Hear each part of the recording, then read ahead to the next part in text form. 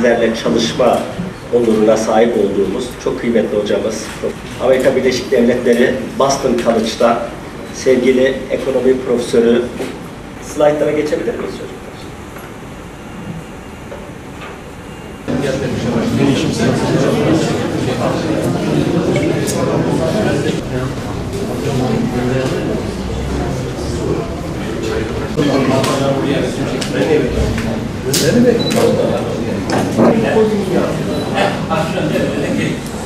çocuklar? ...6 Şubat'ta yaşadığımız büyük deprem afetinden önce yılın ilk 35 gününde 35 karaciğer nakli yapmıştık. Ancak 6 Şubat'tan sonra bütün zorluklara rağmen programı durdurmadık. Enstitü olarak ayakta durmaya çalıştık. Sayılar azalsa da yeniden eski ivmemize döndüğümüzü söyleyebiliriz. Burada da farklı bir şekilde yılın ilk 35 günü, 35 transplant fakat daha sonra düşüşler ama yine bir e, e, eski e, ivmeyi yakalayabileceğimiz bir duruma geldik diyebiliriz. Bu da tabii yıllara göre bizim karaciğer nakil aktivitemiz aslında e, bu sene çok çok iyi bir başlangıç olmuştu. 300-350 arası bir karaciğer nakli yapmayı planlıyorduk ama tabii ki dediğim gibi şartlar, hastanemiz özellikle Malatya'daki bütün depremzedelere e, bir e, konaklama veya e, barınma yeri olarak kullanıldı. E, dolayısıyla çok az hastaneyi kullanabildik, çok az bir kısmını kullanabildik. Ama yine de gördüğünüz gibi 2023 yılında da e, yine beklenenin üzerinde bir e, çalışma gerçekleştirmiş bulunuyoruz.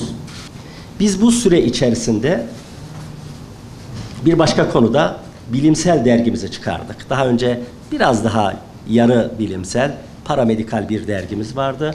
Ama ilk olarak Journal of Inner Liver Transplant Institute diye bir e, bilimsel dergimizi çıkardık. Şimdi bilimsel dergilere bakacak olursanız bu dergilerin hep ön yüzünde burada göre- gördüğünüz gibi bir takım çalışmaların işte moleküller, çalışmaların sonuçları vesaireler hep yayınlanır.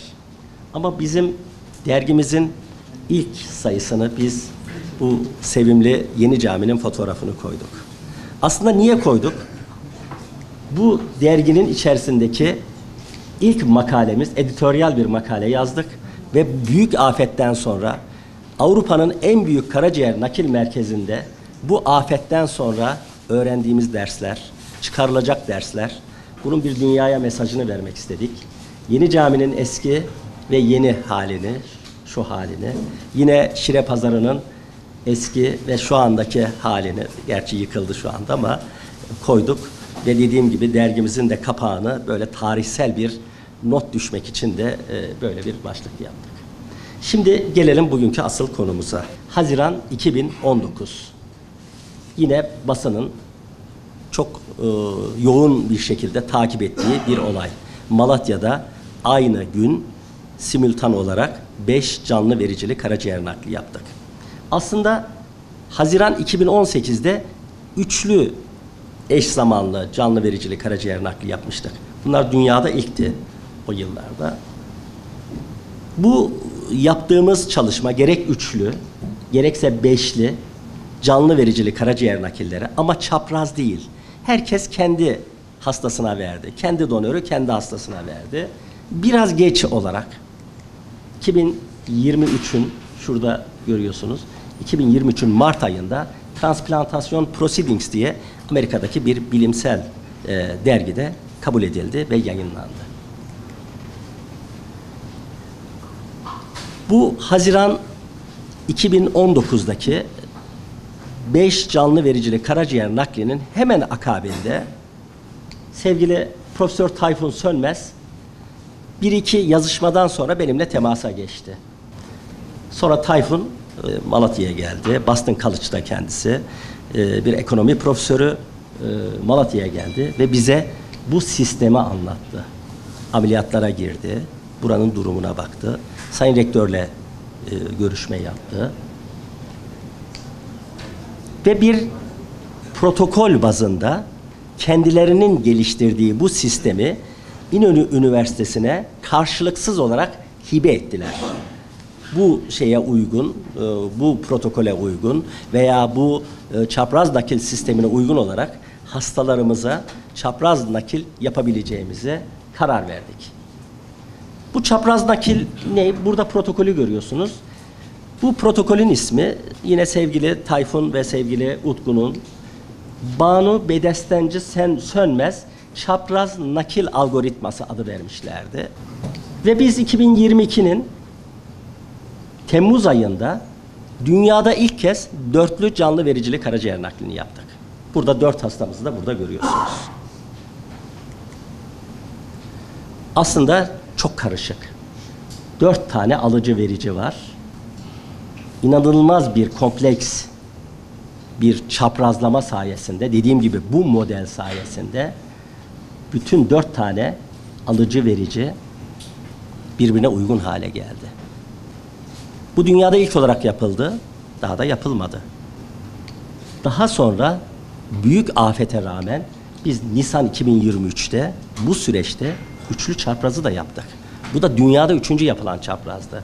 Burada da üç, bu tarafta da üçlü çapraz yaptığımız hastalarımızı görüyorsunuz. Ve bu dünyanın en saygın organ nakli dergisi olan American Journal of Transplantation'da kabul edildi, yayınlandı ve bu dergi kolay kolay herhangi bir makaleye 6-7 sayfa yer vermez. 10 sayfa yer verdi bu çalışmaya. Ve yine Amerikan Organ Nakil Cerrahlarının derneği olan Amerikan Transplantation Society'nin haftalık gazetesi bunu başlığa taşıdı bizim şeyimizi, e, bu çalışmamızı. Sonuç olarak İnönü Üniversitesi Karaciğer Nakil Enstitüsü Hastanesi dünyadaki karaciğer nakil enstitüsüdür. En kapsamlı fiziki donanım ve teçhizata sahiptir. Aynı anda 6 canlı vericili karaciğer nakli yapacak özverili, yetenekli, çalışkan bir kadroya sahiptir. Biz 5 canlı vericili karaciğer nakli yaptığımız zaman Şükrü hocamız burada görüyorsunuz demişti ki burada bir tarih yazıldı demişti. Bizler Malatya Üniversitesi'nde tarih yazmaya devam ediyoruz, devam da edeceğiz. Biz Utku'yla e, e, iktisat profesörüyüz. E, fakat e, uzmanlık alanımız biraz e, sıra dışı bir konu. Öğrenci yerleşimi, okullara yerleşim, pardon, e, yurtlara yerleşimiyle ilgili bir çalışmanın direkt bir uygulaması olduğunu. Ben aman dedim nedir bu e, böbrek uygulaması? E, baktık ki e, hani nasıl öğrenciler yurt odalarını değiştiriyor, hastalar da uyumsuz donörlerini yerleştiriyor. Şu anda ben de Boston'dayım. Ee, e, aslında Tayfun çok güzel özetledi bizim ne yaptığımızı, e, kalktığımızı. Ben e, birkaç başka konuya da değinmek istiyorum. Ee, bunlardan en önemlisi herhalde bu böyle bir sistemin potansiyeli ve dünyadaki e, e, e, yeri olur ve daha ileride ne yapabileceğimiz olur. e, diyeyim. E, başlamadan evvel e, birçok dostum var tabii ki Malatya'da. E, çok güzel zamanlar geçirdik. Bu arada tabii ki e, Tayfun Bey hocaları çok tebrik ediyorum.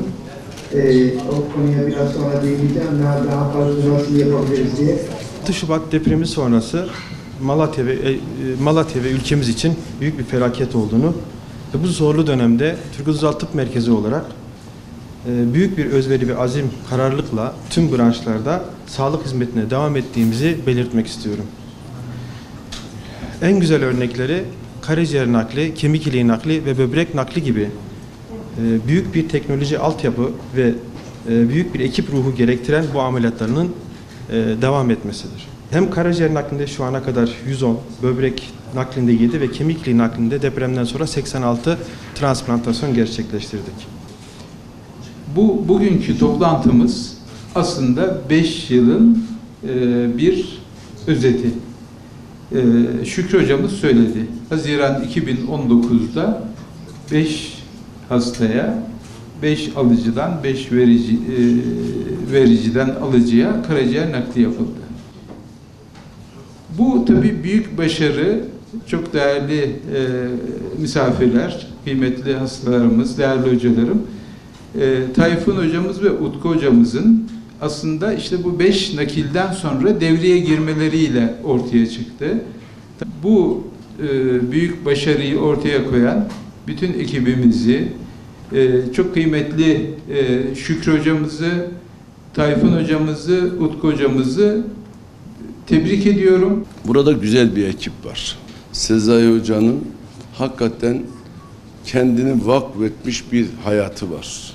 Bu ekibi ben gerçekten de Üniversitemizin başta rektörümüz olmak üzere dekanımız ve e, başhekimimiz ve Sezai Hocamız ve ekibimiz olmak üzere hakikaten gıptayla seyrediyorum. Sezai Hocam dünya çapında Türkiye'yi dünyada ikinci sıraya getirmiş bir bilim adamımız. Yani sırf skor için burada böyle bir beşli e, organ nakli yapılmış değil. Başka şekilde hiçbir surette yapılamayacak olan bir e, prosedür mutlak ölümle karşı karşıya olan beş hastanın hayatı kurtarıldı. Ve bu algoritma olduğu müddetçe bu hayat kurtarma süreçleri de devam edecek. Bunun ne kadar değerli olduğunu herhalde ancak hastalar ve onların yakınları bilebilir ve anlayabilir. E, karaciğer nakli bir organ sunduk ve bu insanlar hayatta. e, hayatlarını normal e, sürdürüyorlar. Yine sol tarafımızda alıcılar, vericiler, bulunduğu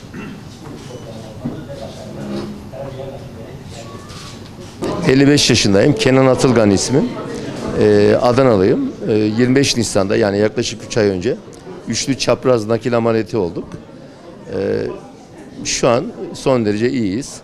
Ee, iyi ki Malatya'yı tercih etmişiz. Dediğim gibi İstanbul'a da daha önce gitmiştim ben. Sonra Malatya'yı tercih ettim. Ee, geldiğime de çok memnunum şu an için. Ee, şu an bir sıkıntımız yok.